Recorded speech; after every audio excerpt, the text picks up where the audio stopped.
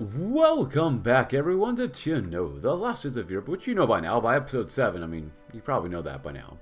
Uh, Germany's apart, and I'm your host, uh, Mr. Ocean Lover, or Mr. Mocha Lover, or Mr. Mexico Lover. But we have quite a bit to read, and as one of the comments said from yesterday, this is like the 7th episode, and we're still in 1963. Holy cow. The first posting. Ordaz had approximately waited 30 seconds after knocking before deciding to come to visit Alfonso Corona del Rosals Rosales' office later instead. As he turned away from his good friend's doorstep, however, the door swung open and revealed the grinning president of the PRI. Ordaz, come in, my friend.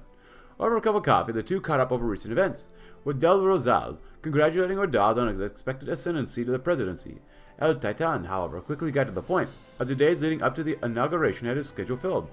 Del Rosal, Ordaz cracking a rare genuine smile, I'm offering you the position of Secretary of National Patrimony in my administration. Under my administration, we could return this country to a stability promised by the revolution and the party, and that is not possible without someone I can I can trust in charge of our prized energy sovereignty. Ordaz leaned in closer. This position would also see your career in the party be propelled to new heights, should you accept. Del Rosal quickly accepted. It's not even up to question, uh, licenciado. I would be honored. The position is sealed. Our rising star in the party, and who, who does he remind me of? Afraid. See you tomorrow, Camila. Her friend left the uh, class as she was sluggishly packing her many notes into the backpack. What is a celebratory time of class for most in the end, instead brought Camila Alvarez down as though her daily vacation away from home had ended. Josu and Rodrigo would be home today, and she was not eager to face or wrath that they were in a bad mood. She approached her typing teacher. Professor Aguirre, could you give me feedback on my assignment, please? Of course, sweetheart. Just wait outside for a moment while I talk to Professor Cruz next door. As Camila leaned beside the door, she overheard the conversation through the porous and walls. You're part of the strikes, Professor Cruz. I don't take you for a rail worker. It was a solitary strike of the teachers' union. 58, 59. We felt unstoppable. That was until our DOS cracked down. Though I managed without injury, I had a few colleagues arrested, tortured even. Professor Aguirre's flirty demeanor quickly faded as she began reminiscing as well. Likewise, friend, likewise. As for me, I think I'm going to keep my head down. That ugly guy seems to be cracking down harder every year. Best to lie low until he gets what's coming to him. Quiet with all that talk, Aguirre. You should probably get back to your student anyways. I think she's waiting outside. Paternalism permeates all levels. Con esos enemigos. Enemigos.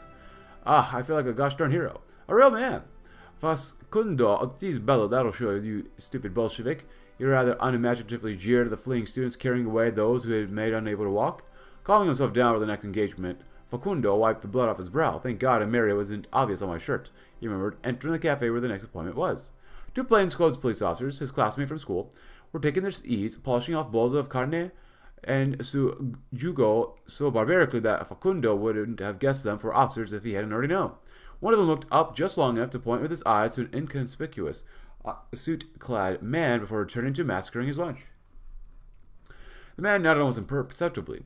As Facundo sat down, the man handed him an envelope which he gracefully accepted. Got something else for you too, Mr. Ortaz, Ortiz. Thank you for your service thus far, but there's more. Oh, go on. If there's some more of these uh, communists and socialists have something unfortunate happen to them, we could see our way to, forward to a swift release for your colleagues in Los Tecos. Not only appreciative, Facundo shook on it. That I can arrange, he said, taking his leave. Next on Ortiz's Rodo, Rolodex, guarding a PNM patriotic rally on perfecting democracy. The electoral law in 1963 had conquered newsstands across the country. Headlines roared, electoral law strengthens democracy, the PRI makes room for opposition, and your vote matters more than ever. Even the PAN-affiliated newspaper The Nation offered praise for the reform, albeit with a focus on Christlieb's or Kreislieb's role in its creation. If eyes descended below those headlines, however, they encounter a more complex picture. The previous regionally based system was maintained, but now some seats in the Chamber of Deputies were to be filled by parties in proportion to the votes they received. Astute readers might realize that two of the three parties to benefit were effectively controlled by the PRI, only existing to engage the far left in uh, chaotic electoral ventures. Others might claim that the PAN, the only true opposition, would be no position to challenge a PRI even should they receive the maximum of 20 seats provided for under the new rules. Uh, but why listen to all those shrill voices when millions of Mexicans go about their day content that big block letters proclaim their democracy is fair and just? I just read it for the comics. Nice.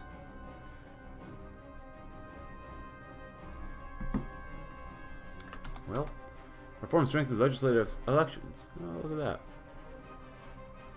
Madero would be proud of how far we've come. this us? Oh. With the votes of all 60 Institutional Revolutionary Party senators, 172 congressmen, and 5 National Action Party congressmen, the Congress of the Union has unanimously passed a constitutional amendment strengthening the access of opposition parties to the federal legislature. In any subsequent legislative elections, minority parties winning at least 2.5% of the national vote will be awarded 5 seats automatically, receiving 5 seats more for each additional 0.5% of the vote they receive, up to a total of 12 seats. This landmark piece of legislation has given a new representation to the diverse voices of our country, and is a powerful symbol uh, for our government's commitment to Mexico and democracy. Madero will be proud of how far we've come. Yeah, there you go. So, what do we got here? Not much. We're pulling ahead. Um, poverty's looking better. It's November 21st. Ooh, a little bit of money here. That's right. I helped out a little bit. Not terrible. Not terrible. Hopefully keep it up. The world's exploded. Cool, cool Norway. And we're skies and seas and join. So if you're read this again, please go ahead. I think I might want to go down this way, perhaps? Ooh, get better poverty immediately, though. And a hospital. Three hospital. That's pretty good. More DFS loyalty. And bureaucracy and power. Loyalty is not bad. We could stand to get more from it. Use more power to bureaucracy immediately, though. I'll give this one next. Hmm. Reprisal. Reform Article 123. I may be doing this one just because we get better poverty immediately. Send it IMSS. At Instituto Mexicano del Seguro Social is our conduit, um, through which we are able to give the average person a helping hand. Well, the primary tool in the arsenal is providing welfare. The toolbox is full of another, um, of, full of other public health initiatives. They're more than happy to make sure that they keep on providing. Building new hospital infrastructure, battling diseases, rolling out vaccinations, and many more positive initiatives. It's a massive no-brainer to continue providing them with the resources that they need, and a massive victory for Mexicans far and wide. In the pursuit of living well, you can never put in too much. All for a purpose. What the heck are we doing this even for? They threatened to fire us before. What what if we didn't show up and Victor began, but was interrupted by one of the other railway workers? Not show up and what? Get screwed over by the bosses yet again? Man, I need the stupid money for my family. I can't go screwing around yet again, especially over speech.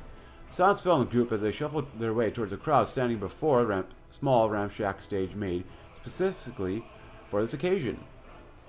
Growth's a little better now, finally good. Ladies and gentlemen, your president, Adolfo Lopez Mateos.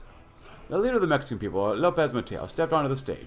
He gave his signature grin to the crowds that cheered his arrival. Most were enthusiastic, only with a splattering of subdued celebration, such as those of the railway workers, and yet the energy that exploded at the start of the, start of the rally did not dissipate. As Lopez Mateo spoke, talking about bringing prosperity to the Mexican worker through solidarity and economic security, the workers found themselves pulled along with the rest of the crowd as they allowed the president to guide them towards the shining future he envisioned. All of us will one day look forward to a future where our wants are seen to, our needs looked after, and our social ills dispelled. And we may only see this future if we do all we can as necessary and play our part in carrying out the ideals of the Mexican Revolution.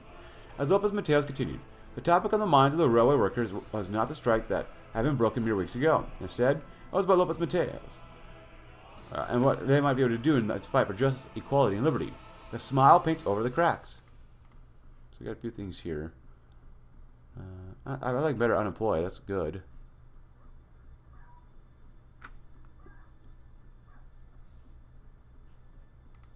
Yeah.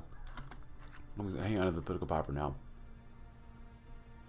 Fruits of success. Uh, uh, Lazaro Cardenas uh, Gilberto Rinzon and the rest of the movement for national liberation were dizzy with success. After going public with their plans, they challenged the CNC with the creation of the Independent Peasant Control, or CCI. The ranks began to swell at an incredible pace. The real sign of success was when the PRI started to take them seriously. Organizations were broken up and closed skeletons, or closeted skeletons, came to light, yet the movement marched on, encouraging Cardenas and its supporters. Soon Cardenas spent much of his time speaking to Mexican peasants who were signing up for both the MLN and the CCI in droves. They spoke about how they felt seen by Cardenas and his organizations. They told him how they were happy to see the true spirit of the Mexican Revolution live on. However, was one topic that made Cardenas uneasy elections.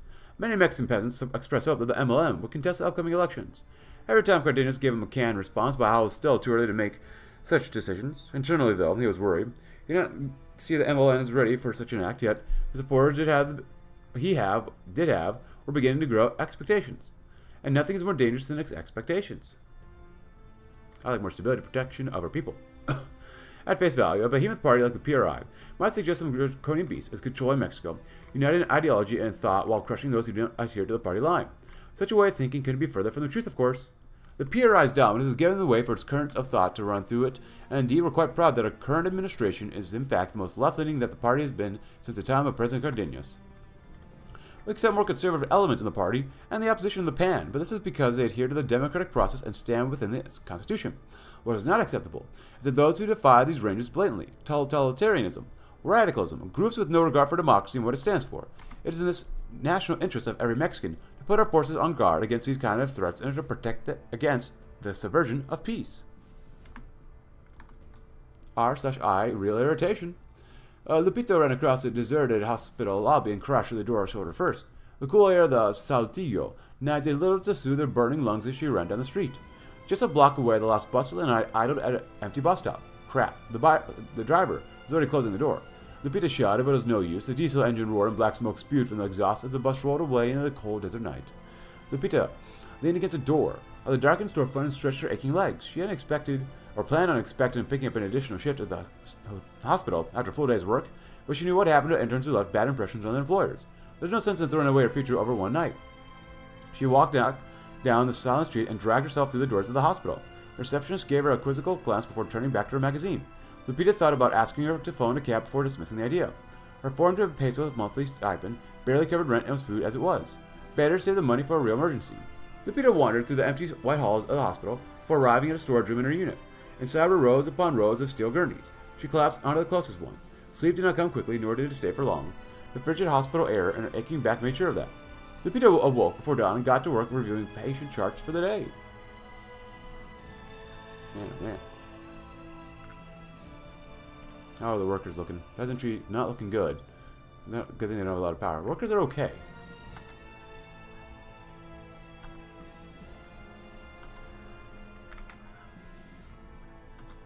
The Union State. the Confederación de Trabajadores de Mexico, despite the misgivings of some, is Mexico's primary workers' union and a firm friend of ours.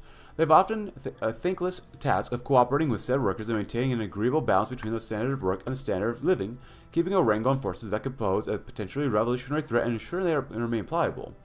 The CTM are not Mexico's only union, but we have certain distastes for many of the others, existing on the edge of radical policies, or politics and espousing dangerous anti-democratic ideals, fascism, communism, and the familiar troublemakers who we cannot tolerate.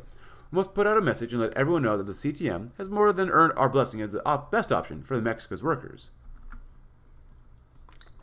Curbing the radicals. Are we ready to move in, sir?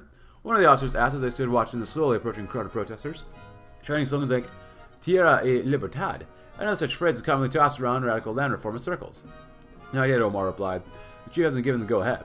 Why he hadn't, Omar couldn't say. He overheard the arguments between the chief and the la local landowners before. Um, usually managed to the chief talking about the risks of creating a public disturbance and local landowners arguing that the protesters were the public disturbance. Usually the landowners won out, and this time would be no different. Omar's radio crackled to life, and once he heard the signal, he shouted, Advance! All of the officers gathered knew exactly what that meant. Equipped with the batons and rifles, they marched forward and met the protesters head on. The two waves crashed into each other, but as always, the officers were stronger. Screams of pain filled the street, as some scrambled to get away. The hammer of the law beat them into the pavement. As Omar looked over the scene before him, um, the last of the protesters were either handcuffed or fled. He estimated that they had cut around 80% of them. These were good numbers reported to the chief. One of the lieutenants approached him, his baton, baton bloodied. Are bringing them all in for questioning or uh, selection? We're not questioning them, Omar replied. New laws. These anti-democratic radicals are going to wish they never came here. Toss them into the prisons, and if they ask, remind them that they aren't entitled to counsel anymore. Now when they're threatening public order. The people's orders must be protected. Ah. So for this one, we definitely like this one. Poverty slowly improve. I like that. More stimulation, more farming productivity. And this one lowers what? Cash crops? 23% is that.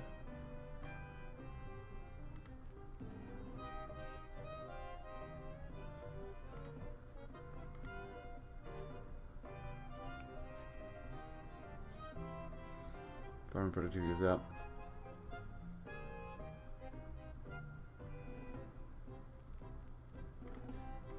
That help here? It helps barely, but it helps a little bit. Viva Cristo Rey. The April heat smothered the small city of the Tabasco plain. It was hot enough that the streets were mostly deserted, save for a few passing trucks and a weathered old man limping down the street towards the town hall. Ramon stopped for a moment to lean on his simple wooden cane. His clothes were soaked through with sweat and clung to his body. He wiped at his forehead with the plain cloth.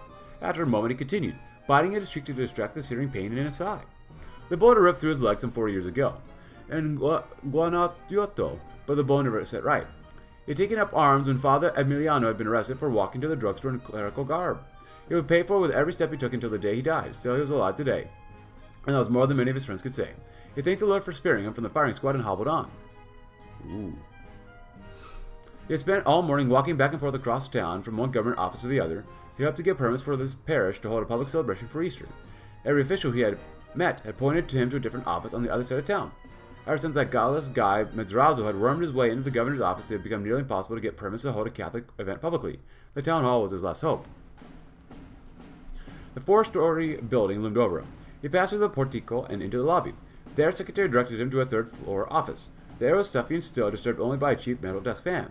It wasn't long before the official appeared, and Ramon could plead his case. The bureaucrat listened, and then spoke. I'm sorry, but we won't be approving any new permits for public events this month. If you're so inclined, the city of Villahermosa is sponsoring the Apostolic, Apostolic, Apostolic, Apostolic Church This is a celebration of General Gardido's, Garrido's life. Perhaps you'll attend? Ramon wanted to cave his skull in with his cane. He wanted to burn the whole city to ash. The only thing he'd do was leave in silence.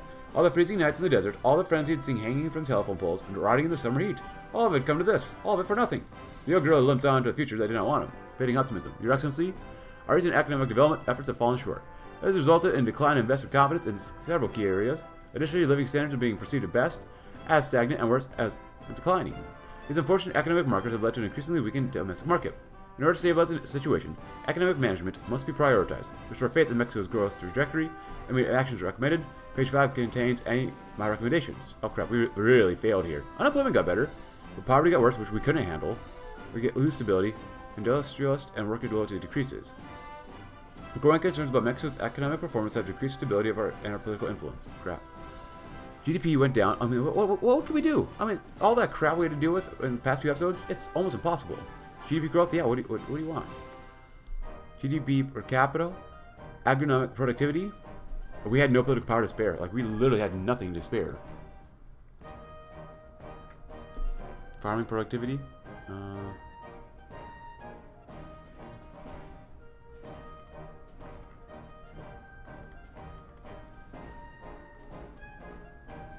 Man, this is really bad for a, a, a yearly deficit.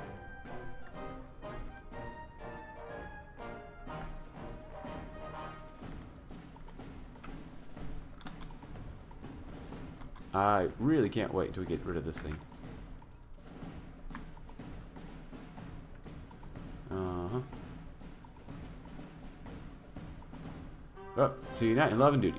When Mexico enjoys cordial relations with many nations and a long era of peace to back up, they haven't come to us idly. They haven't, uh, working within at least set principles where we determine our actions without foreign interference and that of other nations' issues are their own. We promoted our own peace and prosperity and become a reliable member of the international community. After all, are not all reasonable people? Can warfare and strife not be avoided through acknowledging the strides we have taken as a collective species and uniting as peaceful nations? Wallowing in interference and shallow imperialism is a way of those stuck in the past, we shall take a certain pride in proceeding onwards without these things. An electoral shock. The January meeting of the MLN was meant to be simple and symbolic. The growing inertia of the party led many to believe Cardenas would announce a presidential bid. The former president had something else in mind. I'm officially announcing, excited murmurs traveled through the air, that we will not be partaking in the 1964 presidential elections. Immediately, the various leaders of the party interjected in frustration, General, why would we not let me speak? The old Cardenas presidential voice rang throughout the room loud and clear. Working within the fixed, unstoppable machines that our elections in this country will get us nowhere. The irony hung in the air like poison. I know firsthand. This is it is a hollow method, and that to have a granted through support, we need to challenge the CNC. He seemed to be finished, by which time one of the others spoke on, perhaps on behalf of the opposition to such a decision. General, while we understand some of your reasoning, the wind was blowing towards the bid, and this move it. The man paused for a moment to piece together his worries. It might cost us our membership in an irreparable way. Uh, though the rest of the room was silent, the slight nod of some of the members indicated that they might be part of that cost. Enough. The decision has already been made. I'm only informing you as all as a formality. Cardenas would have his way, for better for worse. The fate of this organization hangs in the balance. That's better, but this is very concerning for me. Oh, gosh. Subsidized mechanization?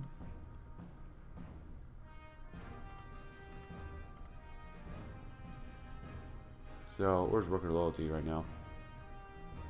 Ooh, not good. We need more worker loyalty.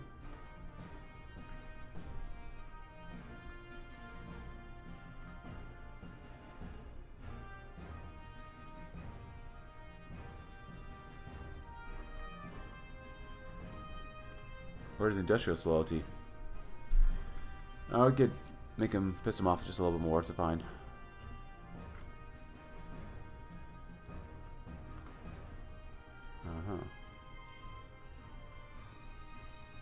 Urban quality of life will go up. For working standards.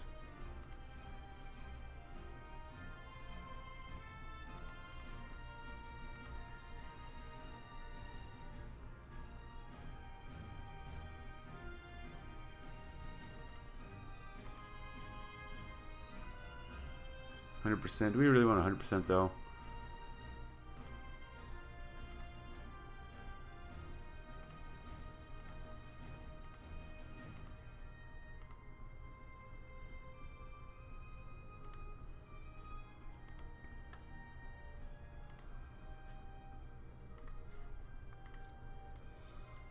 Doesn't help out that much, but it helps out at least a little bit because we definitely need that now. Oh! There goes him. Have it your way. Arturo nursed his black eye with one hand, and the assembled delegates sat and drew up plans for the next move. Uh, and their new code of conduct. Hundreds of mostly students have been arrested that have been arrested that day in Chihuahua City. They've been cut loose a couple days later, none of the worse for wear. Well, mostly, the guy thing still stung. If any lessons would be learned from all this, it was that any pretense of the government's commitment to the people, if it ever existed, was dead and gone. Left within the Constitution, Lopez Mateos' great promise of change had revealed itself for what it was a handful of textbooks, nationalized electricity that didn't reach Dolores, in exchange for disappearances, the deprivation of the land from those who worked it, and a baton to the face. He knew that the revolutionary potential of the PRI had just been long spent, but he hoped just peasants of the Chihuahua might be able to wring just a little more out of it. No more. The Mexican Revolution had always been a halfway step, a compromise earned in blood, over which decades of false peace had wrung out gallons more. A true revolution, one final bloodletting, structured along class lines was needed. People of Chihuahua, the people of Mexico, would beg for concessions no longer. They would rip power from the PRISDES and gnarled claws and create a society for workers and peasants to thrive. Of course, the organization to pursue such lofty goals would need a name after a while, and a good deal of arguing, the now revolutionaries were able to decide what friends and enemies alike would call them. The Grupo Popular Guerrillero, or Guerrero is born. CTM meant what again? Well, I gotta feel like a Chilean saying this, but this CTM isn't a trade union confederation. It stands for Concha du Matre, clearly. Alonso had been fired for taking part in the strikes in 1959 and sustained himself on odd jobs in the generosity of his neighborhood. As the Lopez Mateos administration trundled on, Alfonso, oh, Alfonso, Alonso found he could apply for a job under the wing of the CTM, the Trade Union Confederation of Mexico. He had a certain hope that things would be somewhat better, but the union's worthlessness made clear that he would never be the case, or that would never be the case. There was no better, no other avenue whereby workers could represent themselves to the bosses or government, a textbook monopoly situation which enabled the CTM to behave just like a corporate monopoly. Conditions never improved, but even if they worsened, the union took no responsibility. The union was so enamored with red tape that it was difficult even to get a piece of the CTM letterhead paper for personal use, let alone to respond properly if things went wrong. Worse yet, were the union bosses, all willing students of the great sellout Fidel Velasquez at the top of the CTM, who acted essentially like a sort of middle management in overalls. They all drove nice cars without fail, Fords, GMs, and a few Toyotas and Fiats. They also all treated the factory bosses like their own sworn brothers, sincerely fawning over them while they did likewise, right where every worker could see them. Charrismo, the tradition started by El Charro, a corrupt trade union leader in the 40s who all but sold out his workers to the government and adhered to the army's every dictate, was alive and well. So much for the Concha du Matra. Uh, Alonso thought the conditions were crap, and thanks to the so-called Union State, things would never get better. Major friends, Construction would increase. Where is where is this modifier in the perfect dictatorship? Spirit. Leviathan, hui. Revolutionary agriculture, not good. Mexican miracle.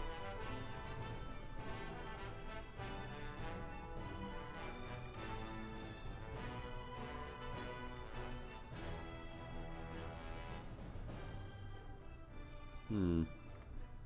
With Forgotten Heroes. Increase their GDP. I like that. West construction will increase. American business will rise, which means nothing. Sphere business opinion rises, but not bad. industrialist loyalty will increase. Still positive for now. Versus bureaucrat and intelligentsia loyalty. Well, we can really use bureaucrat to be better. Loyalty here is nearly like perfect already. And more GDP. I like this one.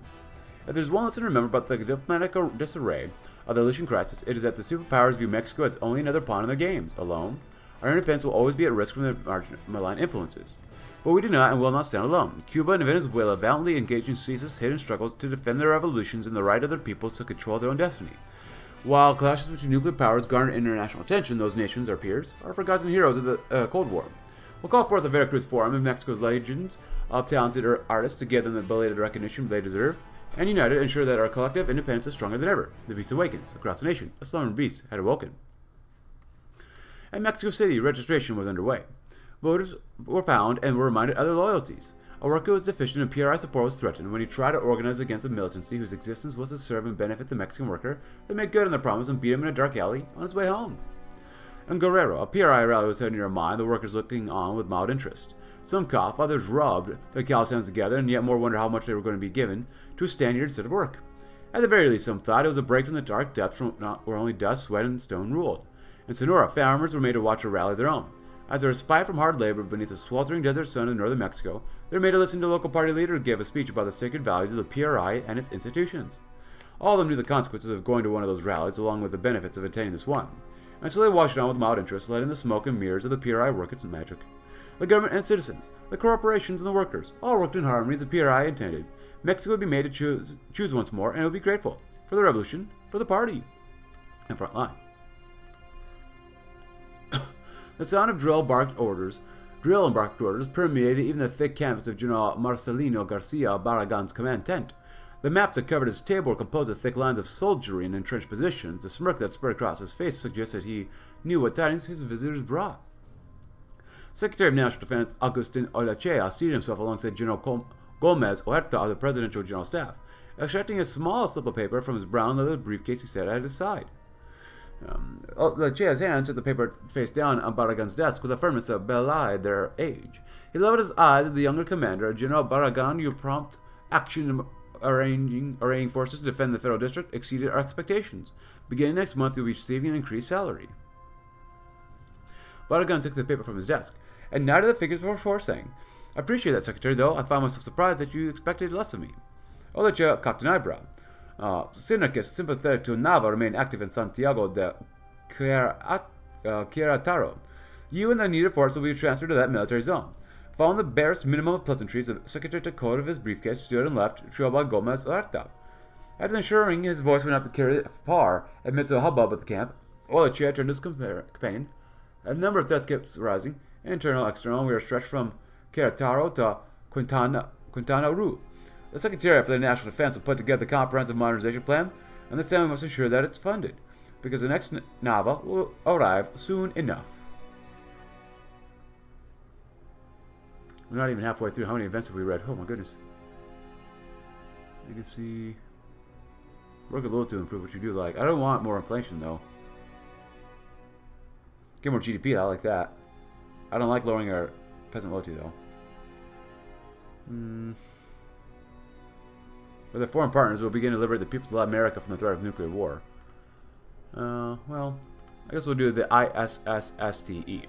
Our many plans and initiatives, grand as they may be, uh, are truly nothing without the many, many workers who put in the effort to make them reality. With that in mind, President Lopez Mateos believes strongly that we should do our best to take care of them, a belief which led to the creation of the Instituto de Seguridad y Servicio, uh, Servicios Sociales de los Trabajadores del Estado, an organization created with that very goal in mind. One of its new initiatives is the construction of brand new public housing facilities designed to be rented at manageable controlled rates in an effort to combat the vicious sprawl that many urban areas our workers live in, which would likely grow out of control and beyond all reasonability if left untouched. Continued development is key to this plan, with a double whammy of improving the living conditions of the workers and making our cities a better place to live for all. Election season begins. Uh oh. Mexican cross greater nation report excitement as the 1964 presidential campaign season begins. Currently, four parties are approved by the Board of Elections to contend are the Institutional Revolutionary Party, or PRI, the Party of National Action, or PAN, the Popular Socialist Party or PPS, and the Party for the Authentic Mexican Revolution or the PARM. These groups have entered into an electoral coalition with the PPS and PARM refraining from nominating presidential candidates of their own. Our editorial board wishes to express our hope that the Mexican public engages thoughtfully and eager in the civic and democratic responsibility to ensure the wise leadership for our country. May the best candidate win. We'll see. Some more loyalty, which is good. And more political power is nice too. We'll get more uh, stuff here. The golden rule. Distinguishing our distinguished colleagues, Mateos began as he stared out of the rows and rows of party delegates. World tension has never been higher than they are today. The Japanese and Americans have only recently come within inches of disaster and saved only by cooler heads prevailing over the warmongers. The Mediterranean is brimming with resentment and envy just waiting to explode. Who knows what other disasters might befall across the world in the coming decades? Through the last few decades, Mexico has entered, uh, followed a clear international doctrine, uh, the Estrada Doctrine. Today, we affirm a commitment to these ideals. Um, the world is a complex, ever-changing landscape. It is not our right to intervene in other nations' domestic policy simply because we disagree with them. Uh, Self-determination is a cornerstone of a peaceful world order, and I will continue to support this policy throughout the Americas and beyond. In addition, I will bring these ideals of self-determination and non-intervention with me wherever I go. If other nations fall suit, then one day we might wake up to a world less ravaged by the disease of war, with a nod. Mateos indicated to those gathered that his speech was concluded, and the applause began as he clapped. Mateos made his way off the stage, joined by Ordaz. Planning any more tours abroad that I should know about, Your Excellency? Ordaz asked as they made their way out. Oh, not particularly, Mateos gave him a brief smile. I'm just hoping that this speech will smooth over any wrinkles we have with our partners. We're going to need them in the years ahead. The Americans have their doctrine, and we have ours. Yeah.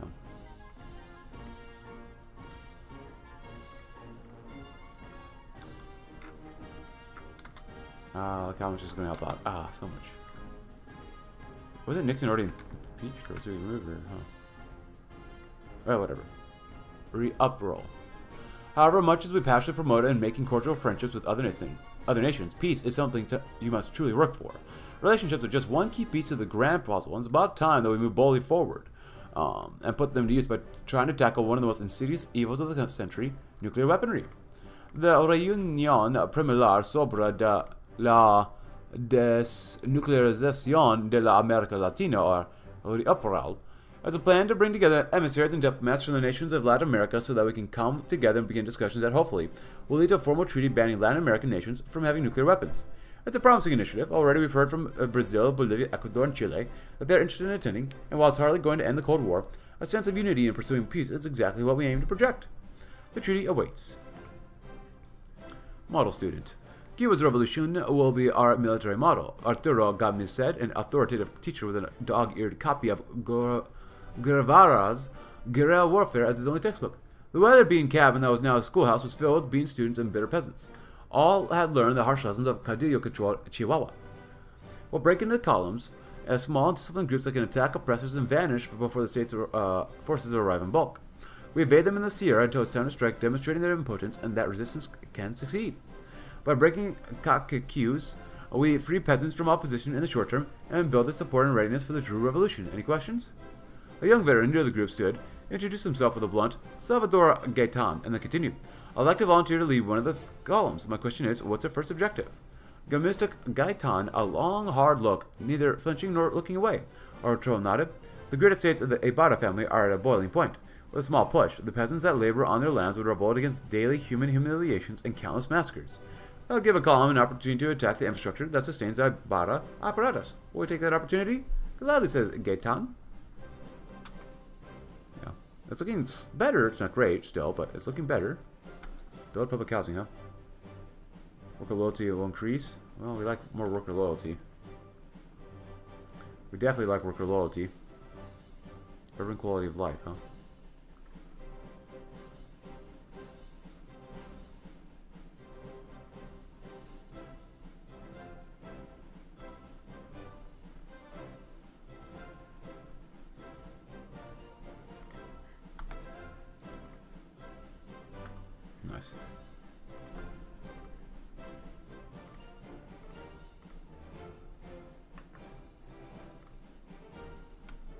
Good stuff.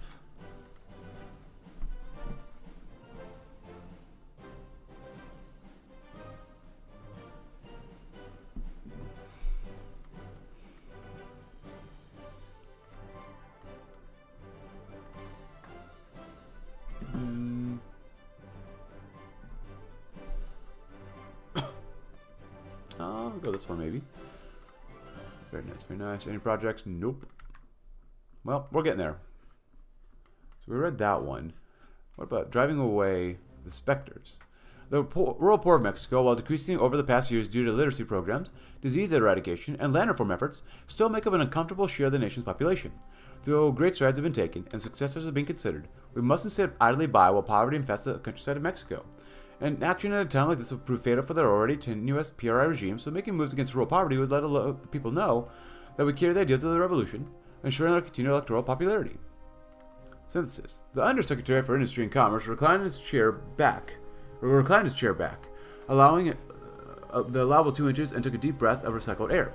It was currently on a direct flight from Mexicali back to the Federal District. Carefully placed in the empty seat next to his was a briefcase that contained the fruits of weeks of nightmarish bureaucratic labor. Been torturous work arranging an economic development strategy for the Baja California and Baja California Sur. Every person in the PRI bureaucrats spoke to agreed that the region had tremendous potential, but excruciatingly, every person had their own vision of how that potential was going to be fulfilled. The big city scraped to be the center point. Baja California Sur is fighting for its fair share despite its insignificant population. American, Japanese, and Mexican industrialists jockeying for the best contracts. Uh, Norteños wanting all the federal money but none of the strings. Look at this guy. Oh. The debates in politics might have been bearable if all the involved parties could fit into one room. However, the Undersecretary had spent the last couple of weeks on a journey of to the westernmost extremes of Mexico. He traveled on terrible roads to tiny towns and small farms, meeting the people who would be most impeached or impacted by his uh, policy decisions. It was a grueling journey, but miraculously he had done it. He crafted a perfectly acceptable plan that everybody could sign, filled with manageable compromises and minimal loopholes. It was a defining moment of his career, a testament to the PRI's commitment to carrying forward the legacy of the revolution for Baja and all of Mexico. Care for a drink, sir? An air stewardess interrupted his idle musing. Don't mind if I do, the harried man replied, plucking a glass of cheap, sparkling wine from the woman's outstretched hands. As the cool drink touched his tongue, all the painful memories floated away, leaving him only him and his briefcase. The revolution's light touched all corners of Mexico. What is this? Oh.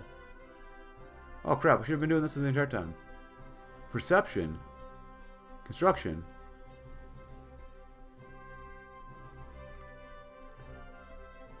So El Tapado. Oops, I should have been doing this for a while. Uh, prevents perception prepared preparation from being subtracted upon the completion of the current focus. Only one perception can be chosen for this effect until the current focus is completed. It costs a lot of political power. Increase perception preparation by two. Construction preparation. Help influential PRI members adjust to El Tapado. Prevents construction preparation from being subtracted upon the completion of the current focus. Only one preparation can be chosen for this effect until the current focus is completed. Familiarize El Tapado with the affairs of the state. Legacy. Cut ribbons, kiss babies.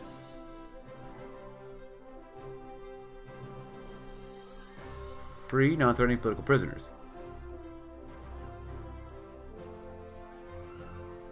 Why does it cost so much political power to do all this?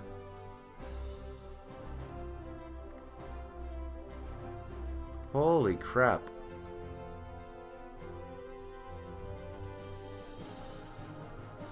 Target faction loyalty? Out of loyalty, power, corruption, only one may be targeted per focus of this faction. Perception campaigns must be activated for this effect.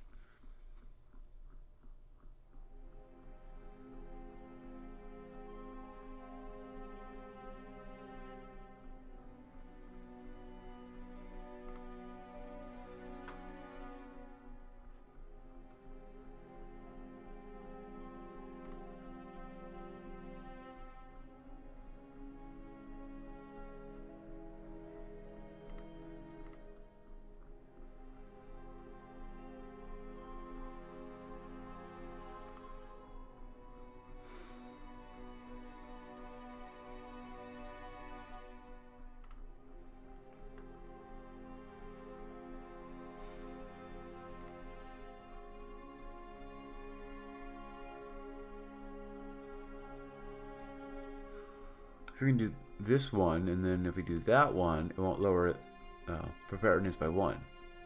Because legacy.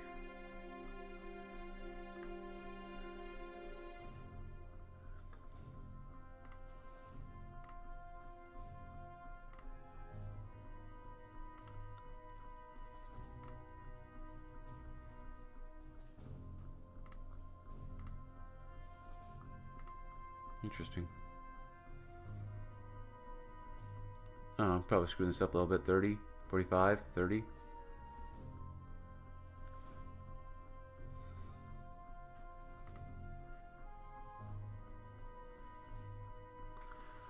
Alright, so maybe I should read this first. Legacy, and construction, to perception. The vital uh, factors for El Tapado secured before the beginning of the presidency, and the president must do all he can to ensure this happens. Raising these above 60 will ensure a peaceful transition of power upon succession, yet above 80 will secure El Tapado as the next great statesman of the United Mexican States. Raising these variables is done through campaigns. To activate a campaign, a lever must be pulled once there is 5 preparation for that campaign. Once a lever is pulled, 5 of the campaign's variable will be generated upon the completion of that focus. Huh. However, completing a focus will also subtract 3 preparation from a ra random campaign, active or inactive. Following an active campaign's preparation to hit 0 will deactivate it, forcing preparation to be built back up. This is kind of complicated. I don't really understand that. What?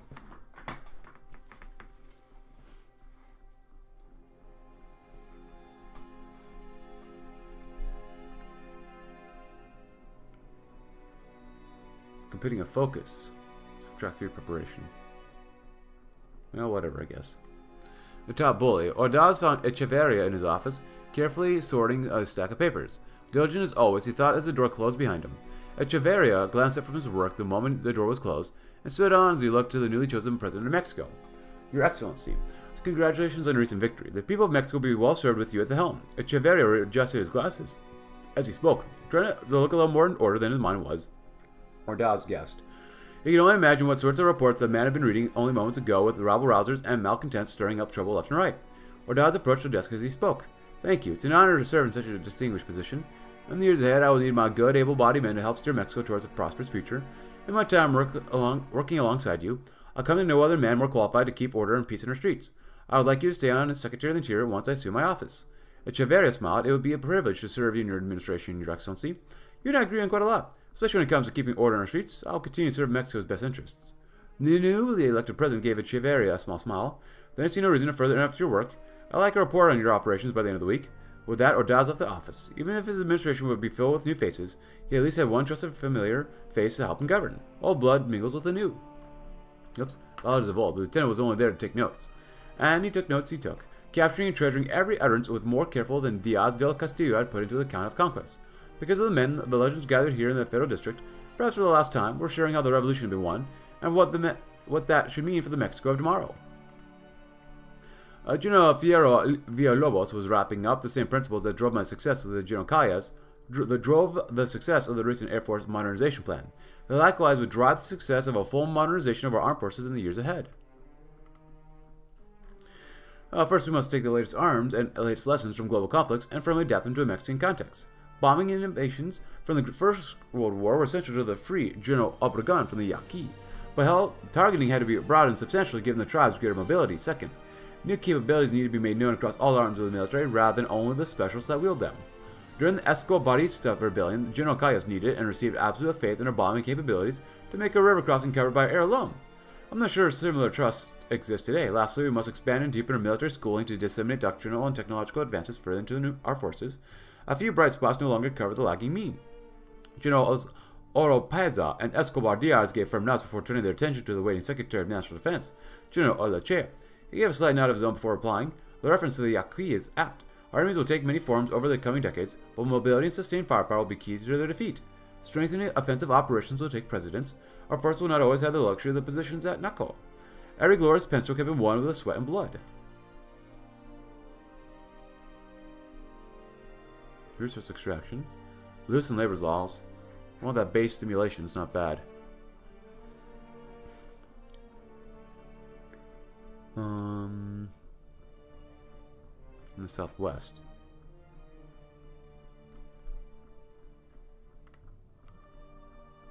It's fine, whatever.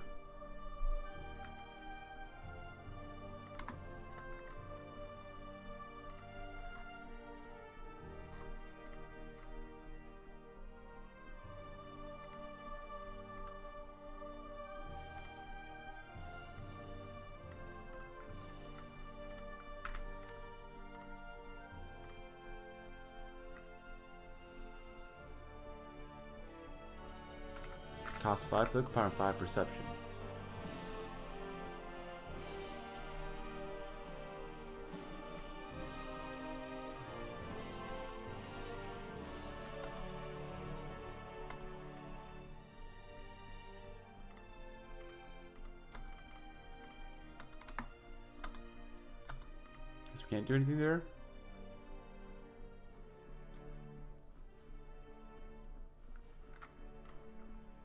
That. We're to increase that a lot.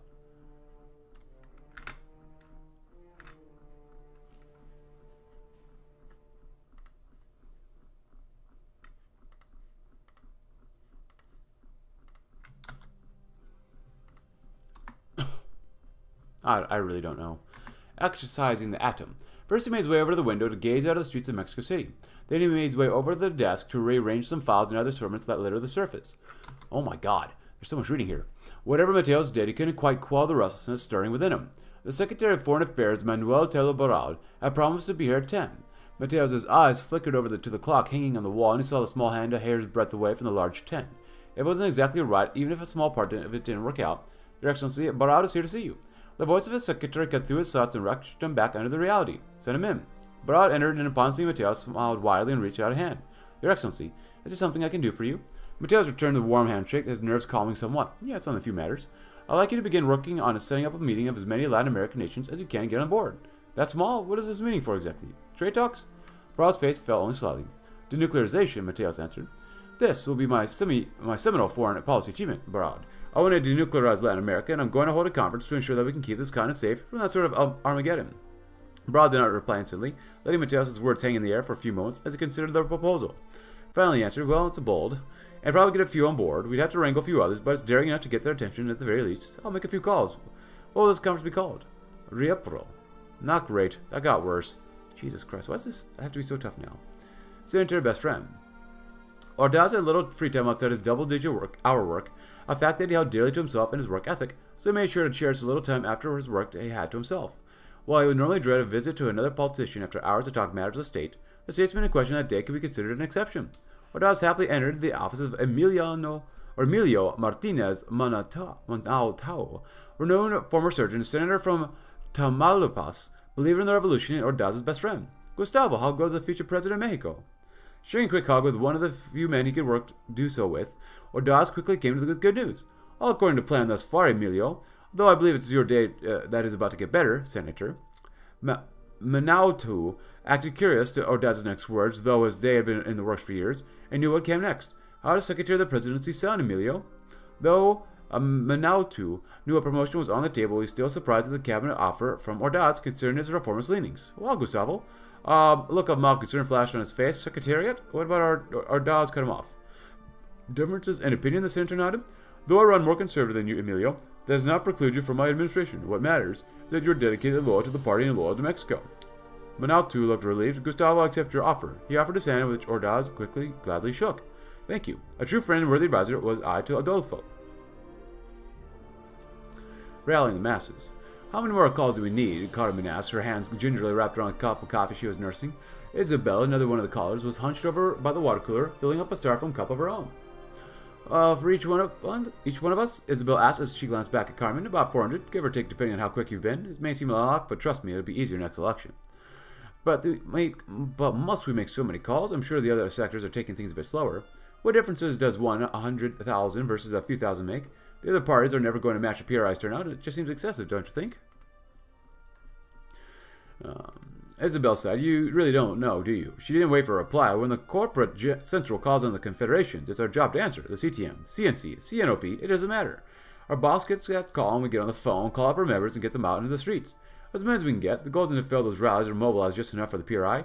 The goal is to overwhelm them. Uh, drench them in the tsunami of our membership while crying for the PRI's chosen name. But isn't that a little disingenuous? Oh, sweet girl, Isabel reached a hand over to lightly squeeze his shoulder. You worry too much. Just focus on your job. Enjoy your paycheck at the end. No drink up, you got 400 more calls to make. With central calls, the workers answer. Real quality of life goes up, huh? Stimulation, and we're we looking at? Southwest?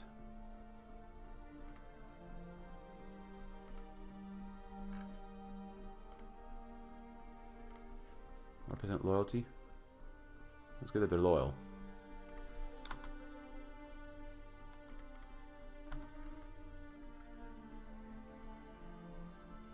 The Argentine snub.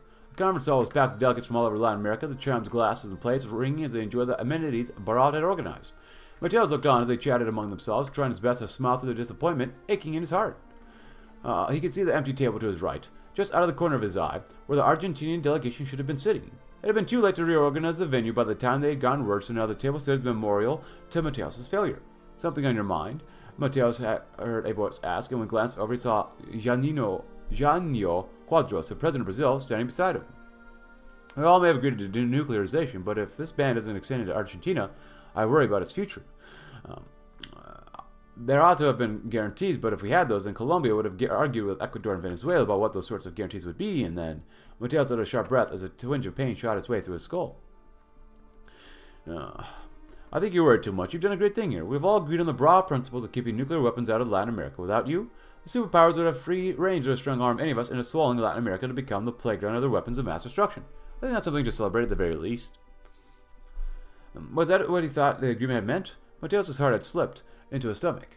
Uh, this whole thing to truly denuclearize a continent. It uh, was just not meant to keep the superpowers out. Yet, uh, when Mateo started by arguing against the Brazilian, all I could feel was a crescendo pounding in his skull. I heartily agree, Your Excellency. So that's again worse, but that'll make this look better eventually. So, oh, Speer won. Look at that. Good job, Speer. And we'll do that one next, and then after that, uh, our base industries. Yeah. Mexico is a beautiful land awash with resources simply waiting to be properly used by the people for their own benefit. A realization that has flared our economy to new heights and resulted in something of an economic miracle. In facilitating the extraction of these resources, we put a new focus on our mining and extraction efforts, and the fruits of our labor are em eminently obvious. We now drink deeply from a supply of steel and oil that we do not have to grovel to for any nation, any other nation for, and make a tidy profit from selling to other nations as if it wasn't go going good enough already. The success story here speaks for itself, and we should continue to buckle down and further develop these mining sectors. The goal, after all, is upwards, and we are ready to climb up as fast as our efforts will take us as a strong figure of trade on the world stage. The gringo whispers. Antonio Carrillo Flores cut through the tender beef steak until his knife squeaked against the ceramic plate. Ordaz watched him carefully, even as Flores casually glanced around the restaurant uh, packed with men and women enjoying a warm lunch. He knew the game that Flores was playing. Knew exactly why Ordaz had called him here, but not want to appear too grateful. That was fine. Ordaz could play the game too. Senor Flores, I'm sure you know why I've asked you to join me for lunch. Ordaz left his plate untouched as he waited patiently for the ambassador to reply. You called me here because you're deciding who'll be your secretaries, and my name came up. Flores had another bite of his steak as he finally looked to Ordaz. I want you to serve as the head of the Secretariat of External Relations. You've been ambassador to the U.S. for many years, and have close relations with them. I'm going to need your connections in the years ahead if I'm going to improve our relationship. I'm sure you and I can agree that they are our longest and most trusted partners, and furthering economic and diplomatic ties with them will not only further the benefit of the Mexican people. Flores did not immediately reply, much to Ordaz's annoyance. He continued to eat his steak as one of uh, Ordaz's hands curled tightly around his fork. I accept. Your faith will not be misplaced, Your Excellency. I'll get you those close relations with the U.S. You don't have to doubt me on that. Ordaz felt his body relax at finally having secured his cooperation. We'll do great things on the world stage together, you and I. An amiable beginning.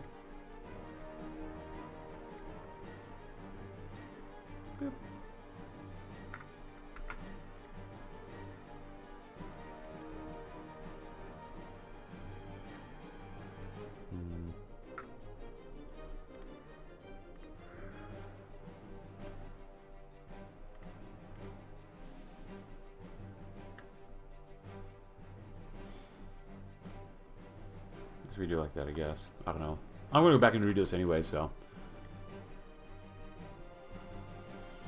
The car jolted as it went over a pothole. The meet and greet of the Oaxaca, Oaxaca was doing no favors for Lopez Mateos' backside, nor for the car's suspension. The unpaved roads reminded him that despite being in the same nation, the people of Oaxaca lived an entirely different life than the people of Mexico City. Looking outside the tinted windows, the land and people of Oaxaca were entirely untouched by the Mexican Revolution. They lived in the same squalor as their parents and par their parents before them. People carried carts via horsepower or by hand, with mules being more likely to occupy the roads than a car. Despite the rampant poverty that surrounds him, he thought to himself that it must have been much worse prior to his term. Fewer children were on the streets and more were now in school. With those children now having textbooks of their own rather than needing to share the same rip books that have been passed down through the years, some progress was being made, but not enough.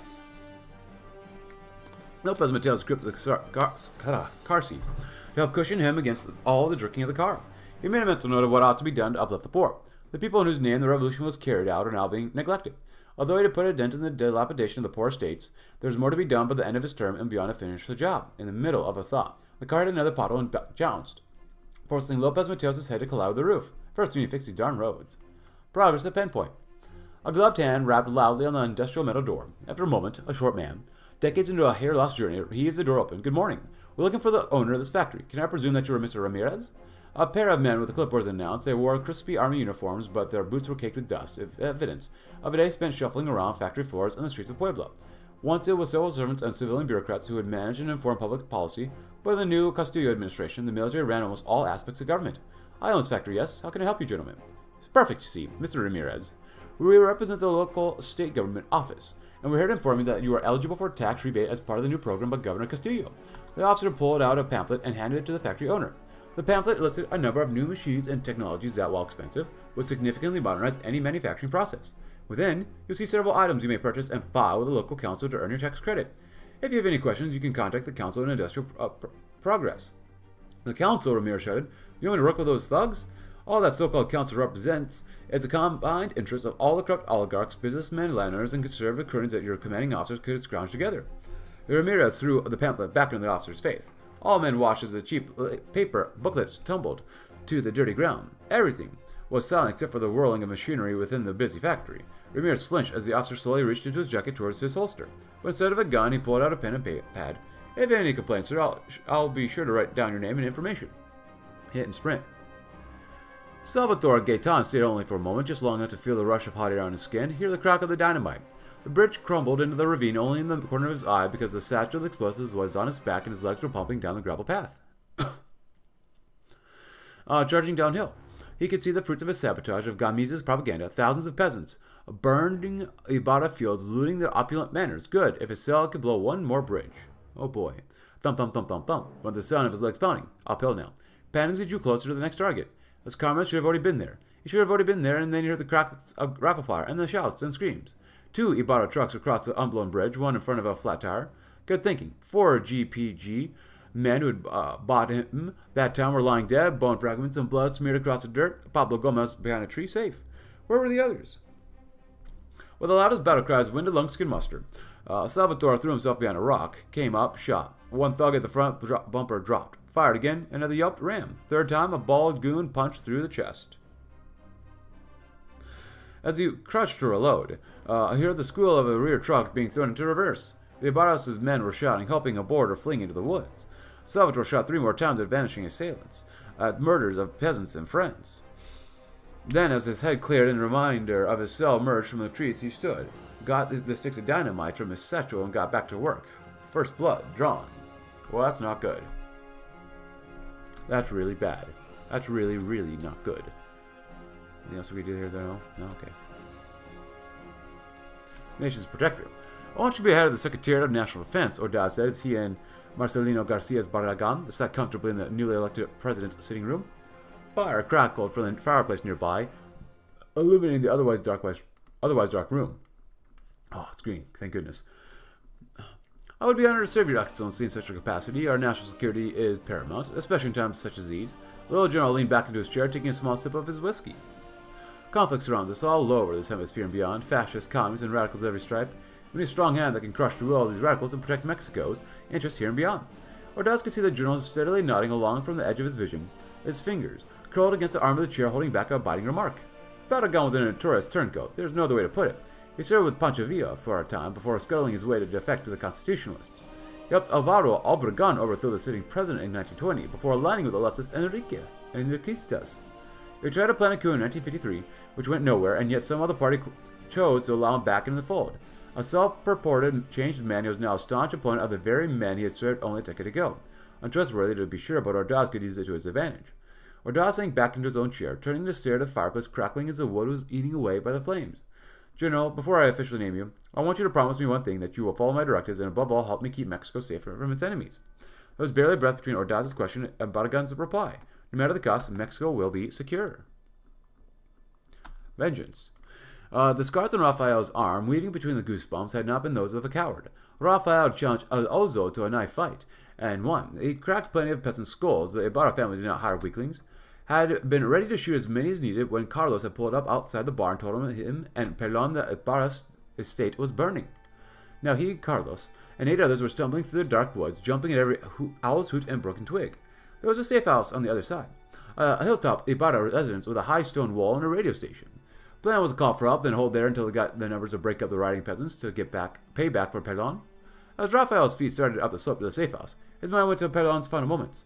They roar across a bridge in a truck, peasants taking haphazard shots on them. But these peasants did not run when he shot one. Peasants that cried out Captain as one div dived out of nowhere, pumping lead into Pelon and some other Tio. Who were those peasants? Raphael could smell smoke. His feet, tired feet quickened, then broke into a jog. As he crossed the hill, breaking the tree line, he could see the flicker of flames engulfing the safe house. To his left, Carlos shouted something, and Raphael reached for his gun. Who the heck were these peasants? Salvatore Gaitan and the Grupo Popular Guerrillero answered with three bullets to his chest. Laying the rules. The room was cool as the world air conditioning unit worked its chill into the air. Having finally selected the leadership for the state utility companies, Ordaz had ordered his cabinet assembled.